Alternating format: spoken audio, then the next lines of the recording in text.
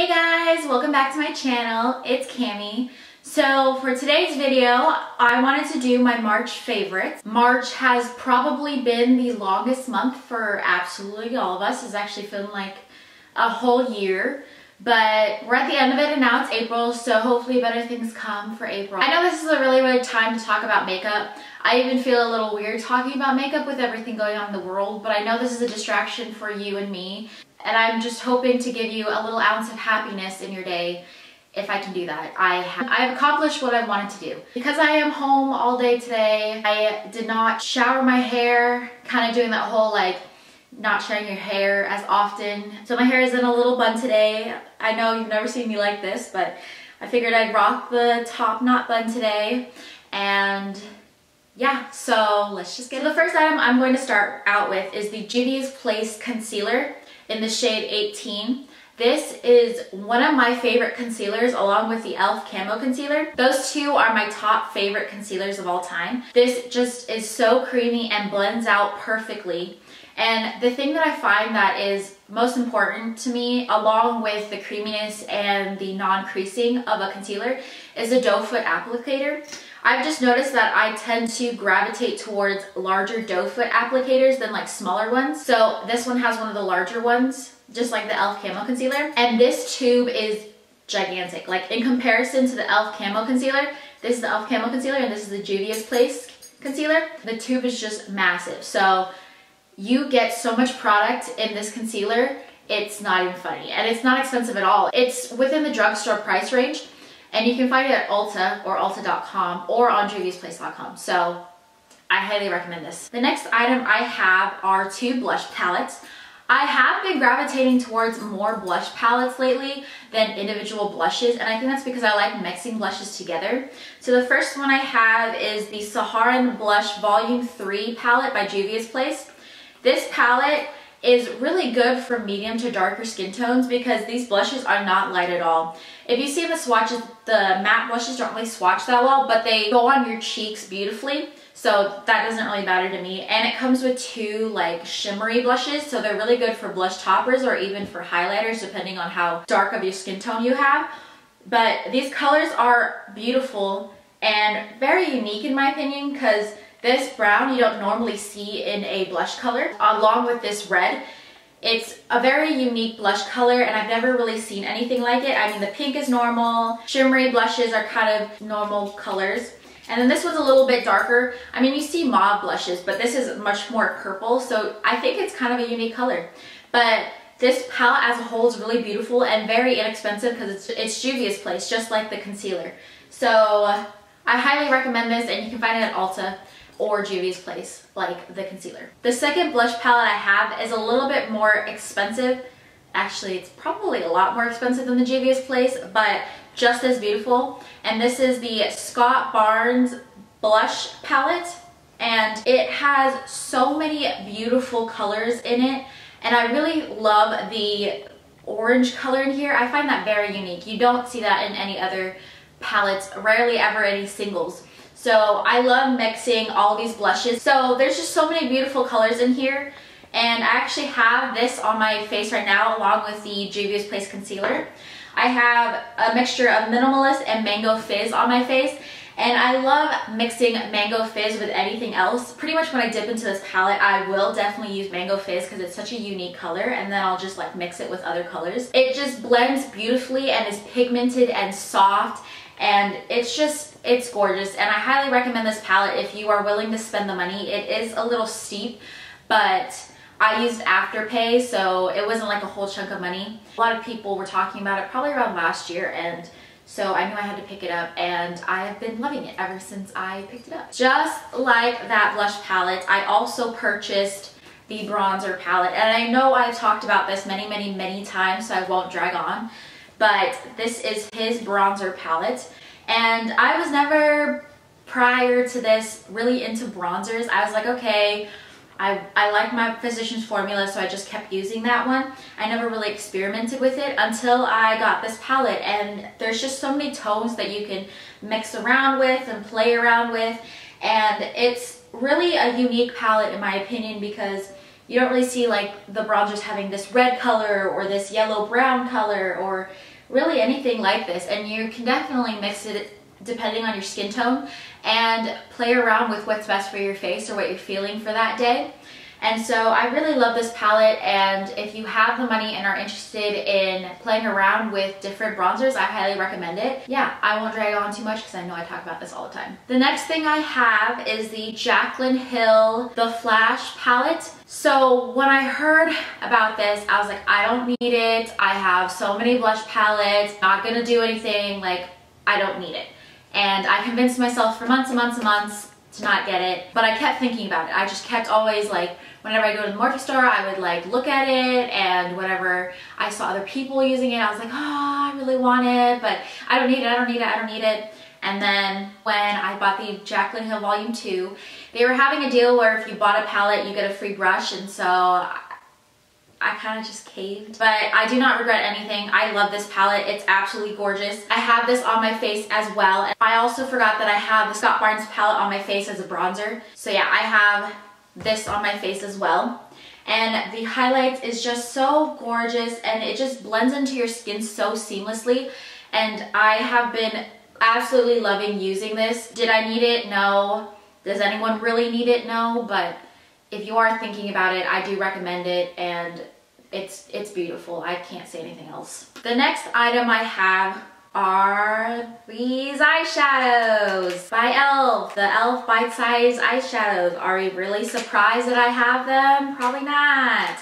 I do talk about these palettes a lot, so I won't drag on about them, but I now also have the Pumpkin Pie Quad, I purchased it recently, so now I have all of them except for the Acai U, which is the blue one, so I don't think I will be purchasing that because blue shadows are not my vibe. They're great. They're perfect, they're cheap, they're blendable, they're shimmering. I have a mixture of the brown shade of Carnival Candy in my crease, and then I have the Rose Water shimmery shades on my lid, and then I have the Truffles dark brown color in my outer corner. I just love mixing and matching these palettes and they're just, they're beautiful and I will not talk about that anymore or switch them because I talk about them all the time. Highly recommend these like always. Go get you some, it's very inexpensive. Love them. The next item I have is the ColourPop BFF Volumizing Mascara. I bought this when I was doing my first letter of your name challenge and I fell in love with this. I have been a ride or die Better Than Sex mascara by Too Faced and this has probably been one of the first mascaras that I tried that I've loved ever since that. And it really volumizes my lashes and I have it on right now. But it makes my lashes look so thick and so voluminous. It's exactly what I want and it's kind of a clumpier mascara which is why it kind of makes your lashes look more voluminous. There is some clumping with this, but I don't mind because I prefer that rather than not clumping and not volumizing. I really love this. If you're looking for uh, volumizing mascara to make your lashes look thicker, this is the one. I've really been into the nude lips lately. So during Black Friday, I bought the KKW lip liner in nude 2. I've never really been a lip liner person. Ever since I purchased this lip liner and tried it, I have fallen in love with the KKW lip liners.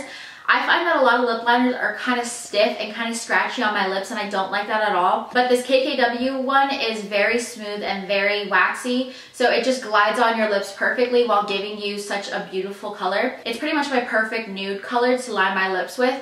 And it's just, it's great. I have like three other lip liners by KKW. I really highly recommend this line of lip liners if you're looking for something that's not drying and still comfortable and glides on your lips perfectly. Another favorite of mine is the ColourPop Just a Tint Lippy Crayons. I probably use this all the time. Again, won't talk about it that much. This is one of my favorite lip products to use because it glides on your lips and it gives you just like a very small hint of color while being very moisturizing on your lips and I have this color in Z Boys and it's down to the nub. Whenever I just want like a simple lip color, I just put this on and I actually have this and the KKW lip liner on right now. If you're just looking for like a little hint of color with moisturization, I highly recommend this. All right, so because I've been not washing my hair as often.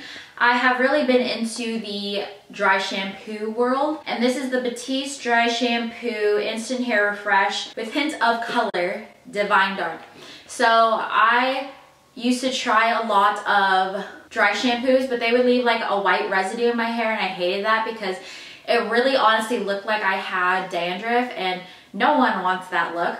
So I love this because it comes out in a darker color and it doesn't show when you like, you know, blend it into your hair. And it really volumizes my hair a lot. Like when I spray it and then rub it in, it just poofs up my hair. It's it's great and it smells really, really good. I've been really loving this to refresh my hair a little bit between the days that I do wash my hair. If you are like me and have really dark hair, this is really good and it will not show the white residue and make you look like you have dandruff. I've also been loving these Beakey sponges from Amazon. They actually came in a pack of five and I've used every single sponge except for this yellow one. It comes in this pack right here and you get five of the different colors. They come in like blue, purple, pink, yellow, and another color that I can't remember. But these are really great sponges and there's like $8.99 for all five of these, so like that's a deal you can't beat. I love the pointy little edge because it can get right in there. I like to switch out my sponges quite often. I do not like using sponges for too long because I just think about all that griminess in there. This is really good because you don't spend too much on one sponge and then just throw it away after like a couple weeks. I highly recommend these if you're looking for an inexpensive sponge. Next, I have two brushes that I've been loving. I talked about the Jaclyn Hill, the Flash palette, and I said how I got a free brush with it. And this is the brush that I got. It is the Jaclyn JO2 that is supposed to work for the Flash palette. It's so tiny and precise that you can just put the, the highlight right there. And if it's right on my cheeks perfectly, because I do have like thicker cheeks but a smaller face. I've been loving using this and it's just so easy and so light and the brush handle is just so beautiful too. It's like silver sparkle. Is this worth the price that Jaclyn is selling it? No, but I got it for free. So I love it and if you can get your hands on it, if you can get it for a cheaper price or get it for free like I did, I highly recommend it. This brush right here is my favorite favorite blending brush of all time. This is the Morphe X Jeffree Star JS5. This is the brush that came in its first brush launch. So it has a little like crystallized brush handle. They do sell this in the regular packaging with like just the pink handle. I actually bought another one of this with that just regular pink handle because I love this brush so much. It's such a great blending brush for your crease. I have really small eyes, so a lot of brushes are either too big and just like overtakes my whole eye or they're too small. And the, the small ones are really good to precisely put shadow where you want it. When I put on a crease color, I just want it to like diffuse out and just like blend perfectly. So this shape is perfect for my small eyes and blends out beautifully with any crease color. So I highly recommend this if you're looking for a brush and you have smaller eyes. The next thing I have is this razor. I bought a pack of three on Amazon. I typically like going to the salon, getting my eyebrows waxed and my lip waxed, but because the salons are closed due to the, the time that it is, I have turned to a razor like this to kind of like shave off my little lady stash, if you so call it. It's perfect for that or for your eyebrows. I don't really use it for my eyebrows because it's kind of a bigger razor so I can't really precisely get in there. You could probably do it at the top but I just, I use tweezers to fix my eyebrows. You can see even like that little hair right there is going, going crazy. But I love this and I highly recommend it especially if you are really wanting to like shave your face of all the peach fuzz and your lady stash too in this time where you can't go to the salon and get it done. The last thing I wanted to talk about is this book. It is called Getting Back to Happy by Marc and Angel Chernoff. I am about halfway through the book, but I already recommend it. It's such a good book. I went through a phase last year where I just couldn't figure out what was wrong and I couldn't figure out why I wasn't happy or anything like that. So then I got this book and I started reading it and it really helped. And I think in this time that we're in, it's really good to read a book like this and getting back to happy. So this book is just about changing your perspective on life and changing your views on everything going on around you and things you can't control. This is a good book to read if you're wanting something to kind of like get your mind off of everything and just to change your views. So I highly recommend this. It has five star reviews on Amazon. It's really good. I haven't finished it yet, but I already recommend it and it's helped immensely in this time period and from my funk for months. So that is my March favorites. Let me know down below if you have anything that you love that I loved or anything that you love that you think I would love too. I hope I gave you a little bit of happiness today or a little bit of a distraction today in a world that's just absolutely chaotic. So I hope you enjoyed the video. Please like and subscribe and I'll see you in the next one. Bye!